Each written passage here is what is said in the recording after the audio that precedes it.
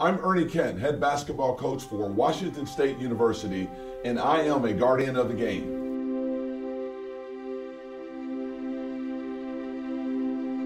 What it means to me to be a guardian of the game, all of us are so truly blessed by this great game we play.